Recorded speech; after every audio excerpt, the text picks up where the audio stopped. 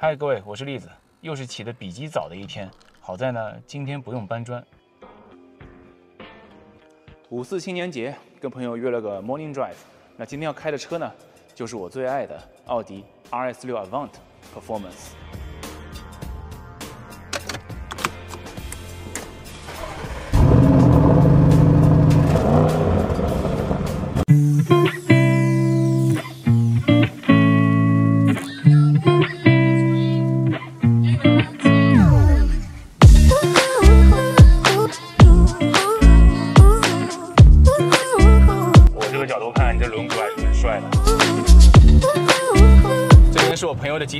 这个是老演员了。这台车马上又要升级了，LSD 已经到了，到时候给大家拍节目。对于我来说，在暂时不属于我的车里面，我开过最久的、最了解的，也是分享过最多的，就是奥迪 RS6。那这一代 RS6 也应该是最后一代用 V8 发动机的 RS6 车型了。在今年年初的时候，奥迪发布了 RS6 Avant GT，那台车其实会有一些要谢幕的感觉，一个终极版的史上最强的这么一个版本。然后那辆车呢，也是非常破天荒的提供了一个原厂的脚牙避震器啊，这件事情我觉得对于奥迪、对于 RS 来说是很不可思议的一个决定啊。那大家如果想看 RS6 GT 的节目的话呢，就多多点赞这一期，我努力去争取机会。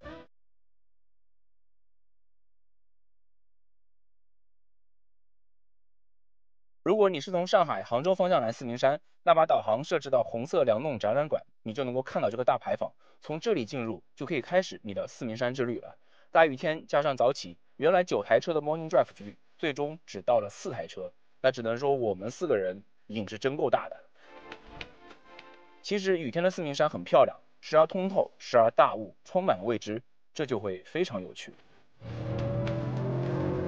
雨天跑山路还是有很特别的感觉的。就通常我们拍节目不会在雨天来选择这里，但是今天是一个 morning drive。其实今天没有什么目的，就是开车，就就一直开车，开累了喝咖啡吃个饭，然后再接着开。就在这种情况下面，其实遇到湿地，然后一会儿阴一会儿雨一会儿大雨，那个感觉其实是蛮不错的，就好像在解锁不同的场景的那种感觉。经常会有网友问我四明山的跑山攻略。我觉得，如果你是第一次来，可以找到四明山观景台和四明大桥这两个定位点。两点之间的主路上有非常漂亮且风格不同的山路，你会遇到一些当地土著摆的路边摊和咖啡车，所以呢，不用担心饿着。路边也有非常多的停车带，开一段停一下，拍拍照。对了，如果你是结伴而来的，最好带个对讲机，这样呢，路上也不会无聊。那分享完山路，我们还是来聊聊今天开的这台奥迪 RS6 Avant Performance 吧。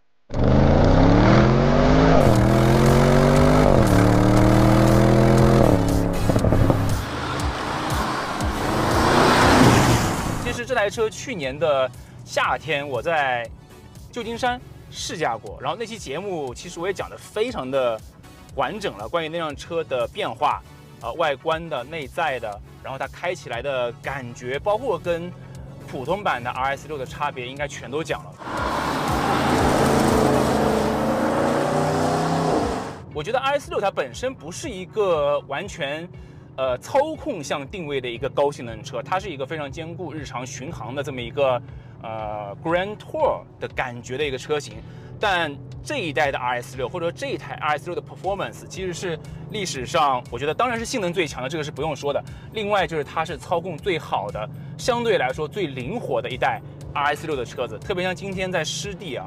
这边有一个 RS 按钮，可以关联到 RS 一跟 RS 二。那么在 RS 二里面，它会多一项，除了驾驶、悬挂、转向、发动机声音跟 Quattro 的运动差速器之外，它还有一个 ESC，你可以直接绑定到 ESC 运动的状态。所以当你这边一键激活 RS 二，就整个车会变得很亢奋，然后呢，能够多给你一点自主权的感觉。你看，就在这个地方有个掉头弯，如果我想要一些。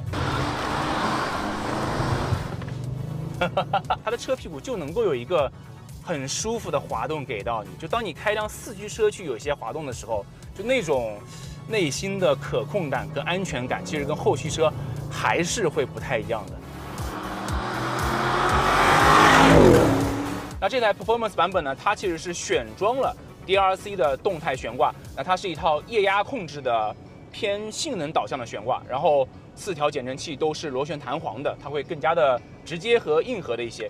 它整个高度呢会比空悬的要低了四毫米，然后它整体来说舒适性变弱，运动性变强。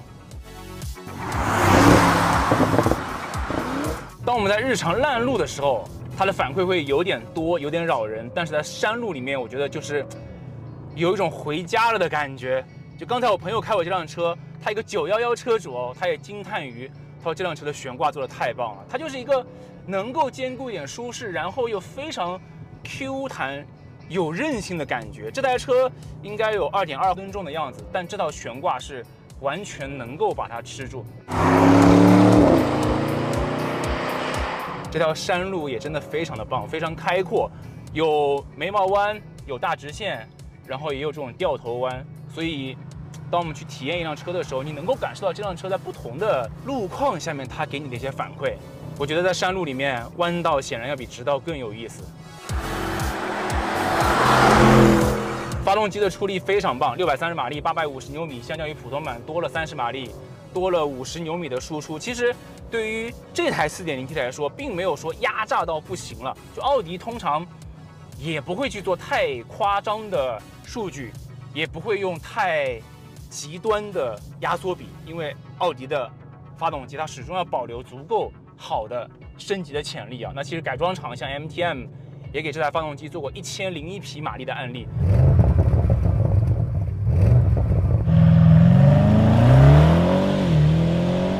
所以六百多匹对于它来说就是一个 舒适区间的一个发力感觉。但是这台车有一个槽点，就是它的声浪，当然跟 GPF 是没有关系。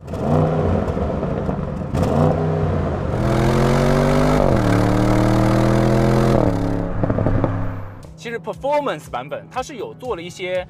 减重的，我记得全车减了大概七公斤的隔音材料，就是为了让更多的声音能够传递到车内。而事实上，这台国内版本的法规要求后的 RS6 Performance 在声音上面确实是安静了一些。呃，我还是非常怀念 C7 的 RS6 的那个声音的，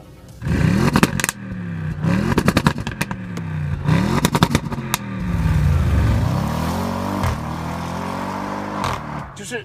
那个车的声音会让让你很意外，就是一台瓦罐，竟然可以有这样的声音。这车是改过的吗？但并没有，它就是一个完全原装的排气。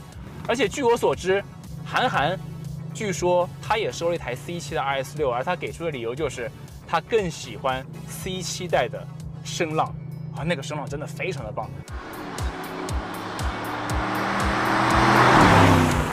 哇！现在就是刚刚还是非常的开阔的，但现在就是在迷雾里面了。我觉得这个就是在四明山很有意思的地方，就你不确定下一个弯过后是什么样的场景。放慢速度，然后慢慢享受，让这台性能车变回一台很居家的奥迪 A6 瓦罐，然后穿行在山路上。哦，这感觉其实也很棒。那老观众呢都知道我的四明山跑山之旅。流水的车子，铁打的吃鸡。那经常有观众会问我定位在哪里？来吧，看这里，这也是观景台和四明大桥之间的必经点。农家乐旁边呢也有停车点，所以非常的方便。跑山车距对于车迷来说是件非常快乐的事情，但是还是要说安全第一，量力而行。开着爱车约几个好友，你会在四明山度过让你难忘的一天。这也是江浙沪最美的山路之一。我经常在四明山会遇到车友，希望有一天也能够和你相遇。